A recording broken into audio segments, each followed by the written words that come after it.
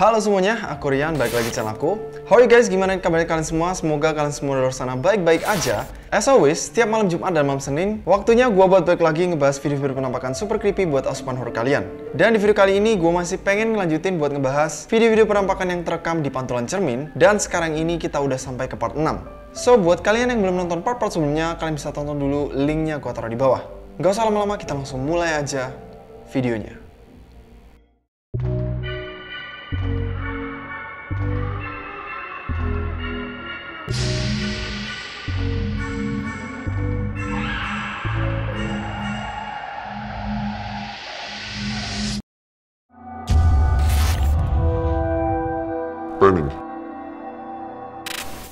So, ada seorang cowok dari Jerman yang suatu malam Doi itu ngerasa ada suara ketukan yang berasal dari pintu belakang rumahnya. Karena Doi yakin banget hari itu sama sekali nggak ada keluarga ataupun teman yang bakal datang ke rumahnya. Jadi Doi mulai ngerasa parno. Doi jalan ke bagian belakang rumahnya sambil nyalain kamera handphonenya. Dan tiba-tiba ada sebuah kejadian yang sangat aneh yang terekam di videonya. Perhatiin baik-baik.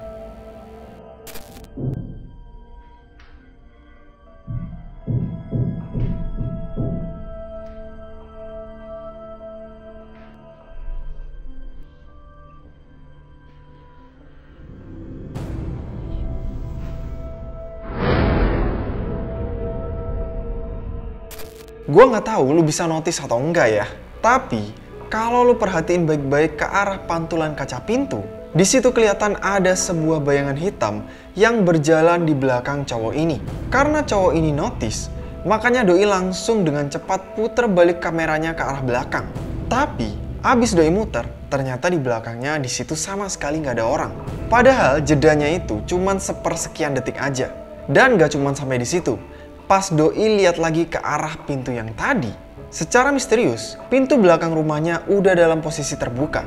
Gue sama sekali nggak tahu ya apakah yang tadi itu penampakan yang real atau jangan-jangan cuma sebuah video editan yang genius banget menurut gue. Karena bener-bener kelihatan legit, 100% real dan sama sekali nggak kelihatan fake atau dibuat-buat. Tapi gimana nih menurut lo? Keyboard. Ada seorang remaja cowok dari Brazil bernama Elias. Doi itu hobi banget main keyboard. Makanya Doi itu sampai bawa keyboardnya itu masuk ke dalam kamar tidurnya. Nah sering kali pas main keyboard, Doi itu sering rekam pakai kamera handphonenya.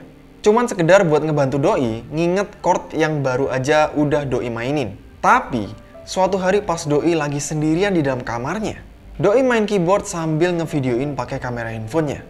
Dan tiba-tiba ada sebuah kejadian yang aneh banget yang nggak sengaja kerekam di video itu. Perhatiin baik-baik.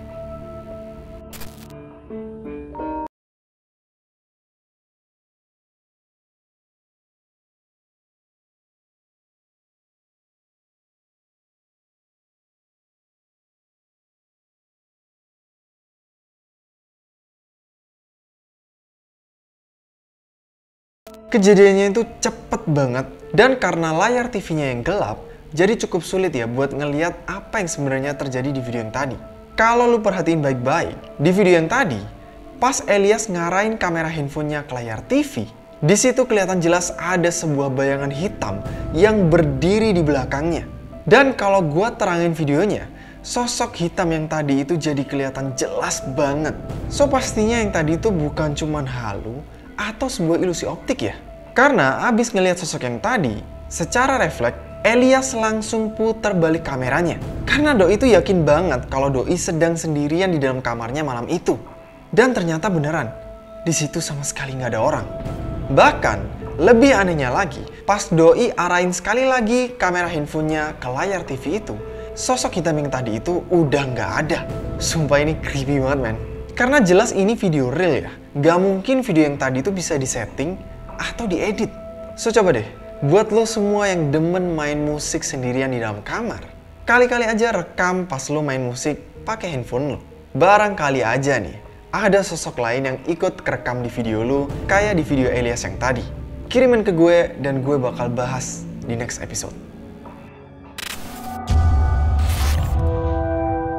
Podcast.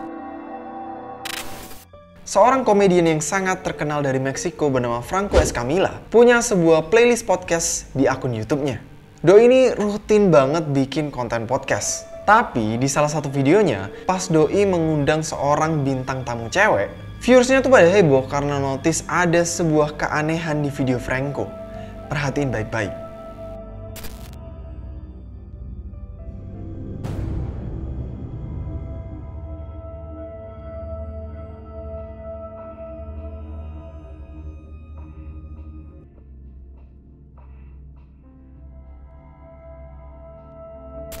Kalau lo fokus buat merhatiin ke arah refleksi bayangan cewek ini di pantulan kaca yang ada di belakangnya, lo bakal notice kalau cewek ini dan bayangannya itu gerakannya nggak sinkron. Lo bisa lihat ya cewek ini tuh gerakannya aktif banget. Hampir di sepanjang video do itu sama sekali nggak berhenti bergerak. Sedangkan bayangannya yang ada di pantulan kaca itu kayak sebaliknya. Tapi lebih anehnya lagi, di bagian paling akhir video, Justru pas cewek ini udah diem, sosok bayangan itu bisa gerak sendiri dan menghilang. So, apakah fenomena ini cuma glitch di kamera? Apakah ada masalah dengan kompresi videonya? Atau ini ada hubungannya dengan sebuah fenomena paranormal?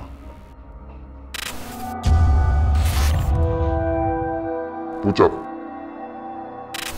So, ada seorang bernama Felix dari Florida, Amerika Serikat. Suatu hari, pas Doi bangun pagi buat nyari udara segar di sekitar halaman rumahnya, Tiba-tiba, Doi itu notice ada sesuatu yang aneh di jendela garasi mobilnya. Doi langsung nyalain kamera handphonenya dan mulai ngerekam.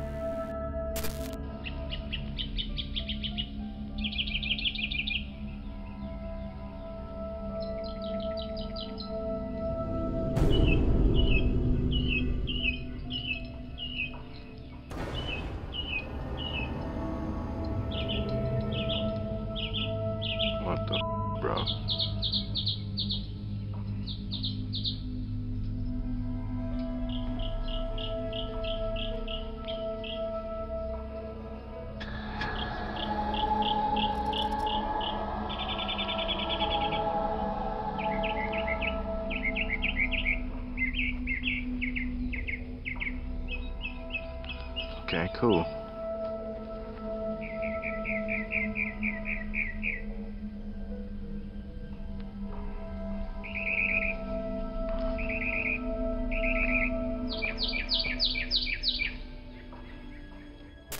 Ada sesuatu mirip kepala dengan wajah yang sangat pucat yang secara misterius nongol di belakang kaca jendela itu. Tapi anehnya, kalau lu lihat, kepala itu cuma nongol di bagian jendela yang atas aja. Sedangkan di bagian bawahnya, di situ sama sekali nggak ada apa-apa. Kepala itu kayak ngeliat ke arah Felix, dan gak lama kemudian kepala itu ngilang sendiri. Dan lebih anehnya lagi, pas Felix coba buat mendekat ke arah jendela itu, ternyata di belakang pintu itu kosong dan sama sekali nggak ada apa-apa.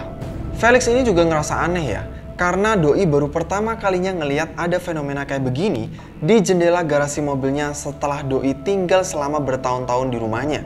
So, apakah yang tadi itu cuman ilusi optik aja? Apakah yang tadi itu cuman pantulan cahaya? Atau jangan-jangan emang benar kalau yang tadi itu adalah sebuah penampakan? Scratch. So, ada seorang ghost hunter bernama Dennis dari Rusia.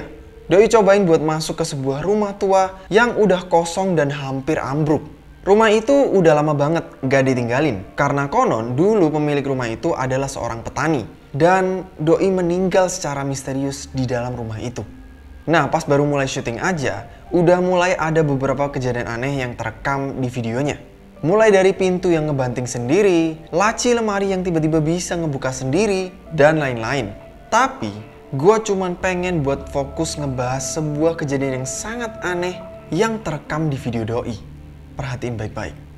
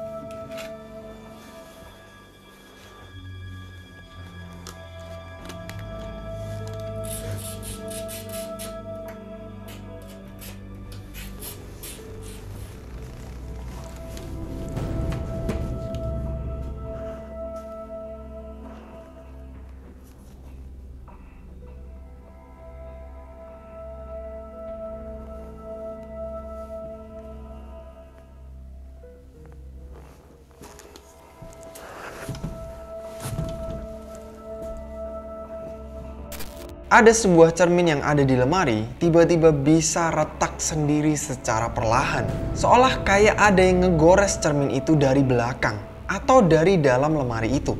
Bahkan lo bisa dengerin ya suara goresannya itu terekam jelas banget di video ini.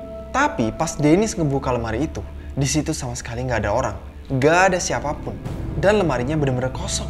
So gimana ceritanya? Kaca lemari itu bisa kegores sendiri kayak di video yang tadi. Padahal Dennis datang ke rumah itu doi cuman sendirian. Sama sekali nggak ada tim, nggak ada teman, nggak ada partner. So gimana nih menurut lo? Oke guys, that's it untuk video kali ini. Thank you banget buat kalian yang udah nonton video ini. Jangan lupa buat subscribe dan nyalain lonceng supaya kalian gak ketinggalan video-video berikutnya. Bye-bye.